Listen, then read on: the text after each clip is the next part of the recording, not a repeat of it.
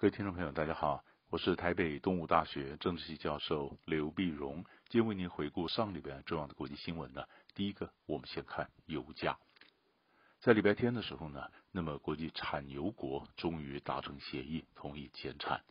事实上呢，这个谈判谈了非常多天哈，在上个礼拜四的时候开始，就是以沙地阿拉伯为主的石油输出国家组织 OPEC。和以俄罗斯为主的一些非 OPEC 的国家，总共二十三国共同组成的联盟，叫做 OPEC 加，就是 OPEC 加上一些非 OPEC，叫 OPEC Plus，他们开始开会，开会呢，那么希望能够达成协议呢，能够对石油减产，因为受到新冠肺炎的关系呢，那么国际经济上不断经济不断的衰退，经济衰退对石油的需求量也不断的下滑。可是呢，这时候你要维持油价，你就必须当你需求减少的时候，你的供给也必须减少。如果这时候你不是不源源不断的还在产油的话，那油价当然就一路下跌，一路下跌。所以在上个月的时候呢，本来 OPEC 的沙地和 Non-OPEC 非 OPEC 的俄罗斯，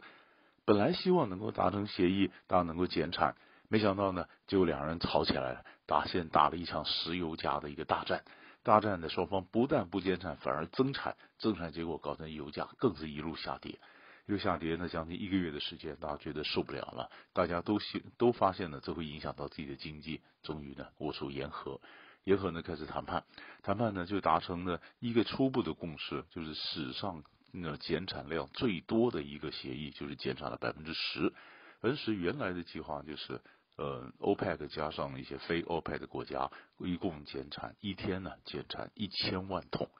一千万桶，一千万桶呢。那还有一些国家呢，它既不是 OPEC，也不是非 OPEC，可是他们也产油，比如说美国、加拿大、巴西、挪威。那他们呢，那么也许体制不一样，但是嗯，他们也因为受到这个市场的衰退啊，所以他们的石油也开始减产。那减产本来最好、最理想的想法就是 OPEC 和非 OPEC 一共减那么一千万，然后呢，这些两个都不是的这些产油的国家呢，美国这些国家也同意呢，也承担上五五百万桶，这样的一天呢，总共就可以减少一千五百万桶。那可是后来谈的时候呢，发现哎，有个国家不太同意，那就是墨西哥。墨西哥呢是属于 OPEC Plus、OPEC 加这个集团里面。那么它本来被分配到的是一天要减产四十万桶，但是墨西哥说，我只有能力减产十万桶，那剩下的三十万桶的缺口我没办法补。那没办法补的时候呢，沙乌地就说，那你如果没办法补的话，那这样的这个协议我们就没有达成，没有达成我们就不不减产，不减产。美国总统川普这时候介入，川普呢不是 OPEC 也不是非 OPEC，可是美国产了大量的页岩油，这也是受到很大的影响。因为油价如果不断下跌，页岩油的这个生产者呢，很多都是小油公司、小油公司，那他们呢，嗯，也经济底子没有这么好。如果油价一路下跌的话，那这些美国很多页岩油的这个厂家呢，那他们可能会破产。那生产页岩油的州，他们的经济相对会被拖累，这可能也会影响到川普的一个竞选的连任。这川普就介入。就介入就说，那墨西哥减产的这个中间三三十万的缺口，我美国来替你补啊。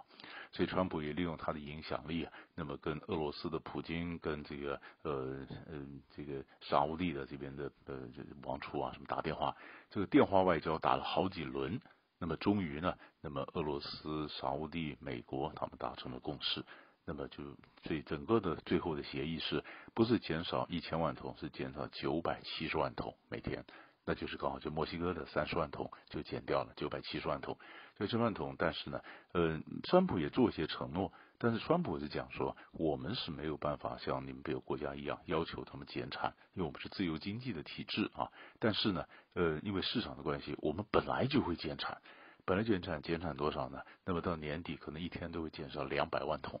啊，那加拿大也是，因为这整个经济的形势呢，所以他们这个呃美国啦、加拿大这民主国家、自由经济的国家做出承诺，但是我们不晓得他怎么去落实啊，因为他不是真的去命令他们减产，但是市场就会带来这样减产的一个效应。好了，这终于达成了一个一个协议。那么九百七十万桶呢是五月六月，五月六月，然后五月六月以后呢，慢慢的开始增产。啊，慢慢让你恢复整整两百万，然后讲嘛，它是个阶梯式的一个协议。那么减产之后，然后慢慢的恢复，那么最后一直到二零二二年的四月，那么这段时间希望能够稳定油价。可是能稳定油价吗？那么一些经济学者指出来，因为整个新冠肺炎经济衰退，你的需求量降低大概有百分之三十左右。那需求量降低百分之三十，那你供给量是减少百分之十。它这这两个对不上啊，中间还是有差距啊，还是有差距。所以你要想用百分之十的这个减少的需呃供给量，想把油价拉回来，有一点点的效果，但是效果只怕不是特别大啊。所以我们讲的看到这是整个油价的，但不管怎么样，这是史上那最大的一次数额最大的一次石油的这个产量的这个减减产石油的一个协议啊，仍然是算这个历史性的一个协议。这是我们关注的第一个新闻。第二新闻同样关注达成一个协议的是哪里呢？欧盟，欧盟在四月九号礼拜四的时候呢，那么欧盟财长会议啊，终于通过了一个五百四十 b 链欧元的一个经济纾困的方案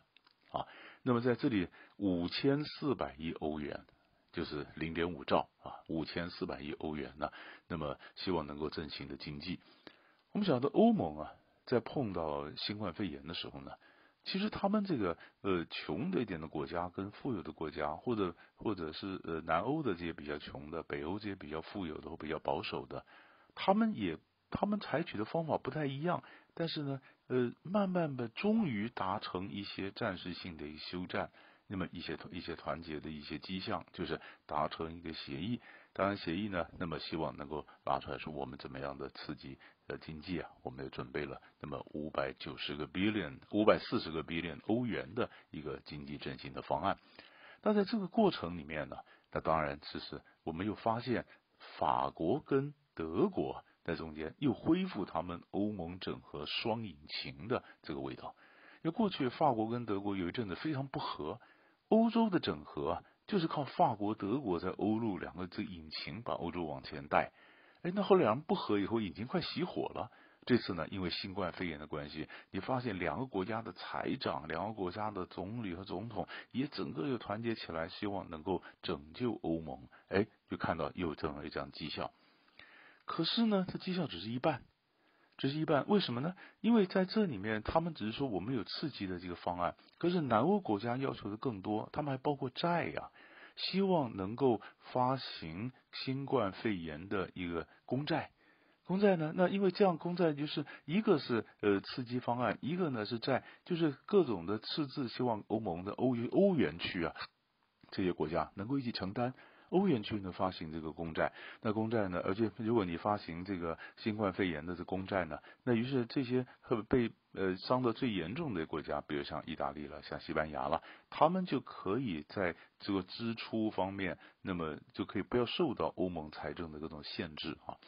那结果，那德国就有点就保守，德国就不太愿意。都不太愿意，所以他们现在通过的只是，呃，我们讲的通过的只是五百四十个 billion 欧元的刺激经济振兴方案。但是呢，关于各国的因为这样的债务问题，是不是由欧元区的国家共同来负担呢？没有协议，所以一半啊，这是一半。这是我们发现欧盟的一个情形。接着我们就看一下非新冠肺炎的几个东西，可以看的是第三个新闻。我们拉回亚洲，我们看韩国的国会大选。韩国呢，在四月十五号，在星期三呢举行国会大选。那这事情为什么特别做值得重视呢？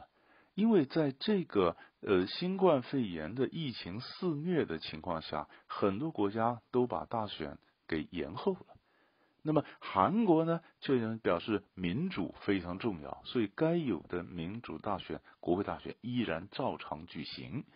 所以，一些西方的评论家讲，这跟亚洲很多国家来讲，那根本就是形成非常明显的一个对照组。对照组呢，因为在整个呃情况下，你可以看得到，那么亚亚洲国家呢，比如说呃这个泰国，比如说菲律宾，大家都是趁机趁机就就进入紧急状态。柬埔寨更是如此，洪森总理的他的这个呃权力呢，不断的扩大。因为在这在这个新冠肺炎就是国家进入紧急状态的时候呢，为了抗疫，很多政治人物趁机就是巩固他的权力。那么把所有的民主的束缚甩到一边，所以不管是呃柬埔柬埔寨啦、泰国啦、菲律宾啦这些东南亚国家，通通都是那么当权者力量越来越大。那韩国同样是亚洲国家呢，他不但抗疫成功，而且他能够做出来说，我抗疫成功，我有医疗的外交，而且我告诉你，我是个民主的国家，所以这就让文在寅总统得到很多的支持度。韩国这次那么是国会大选，国会大选，那么大这是因为抗疫成功啊，所以文在寅的支持度那么非常非常高，达到百分之五十四的左右，不断的升高，不断升高。前一阵子他。因为有些丑闻案呐，或者什么，所以那么正制度受的影响，但这次制度不断升高，不断升高，所以一般的观察就是在这次国会大选里面，他领导的韩国民主党应当席次会增加。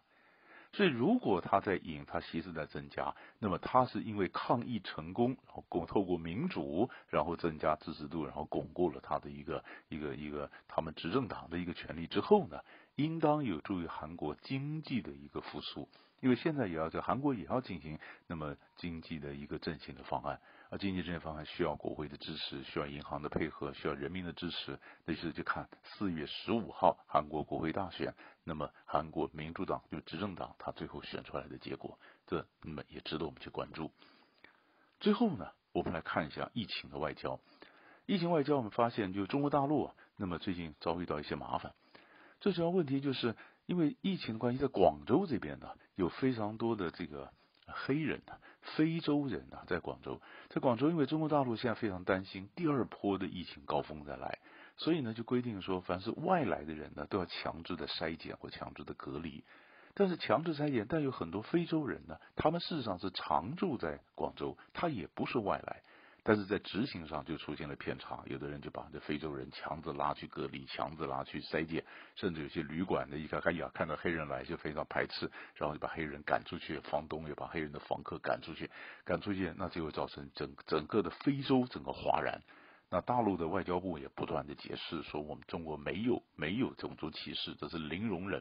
但是上个礼拜我们就看到，不管是肯亚、奈及利亚、乌干达、戛纳。就是这些国家，他不断的不管舆论呐，不管网络上了，不管报纸了，不管国会议员，一片对中国大陆大加挞伐，就说你怎么可以歧视黑人？这事情特别值得重视，就是中国过去呢，花多少时间在经营非洲，有多少的中国人在非洲？结果因为这个疫情的关系，中国跟非洲关系一下子不是变坏，但是出现了一些外交的危机。那这样的一个外交危机引起国际上非常的非常的关注，哎，怎么会让这个事情这样的发生？所以这样的中国跟非洲的关系有什么的影响？那么后面又会造成什么涟漪的效应？同样也值得我们关注。所以大概上礼拜几个大的新闻就为您分析到这里，我们下礼拜再见。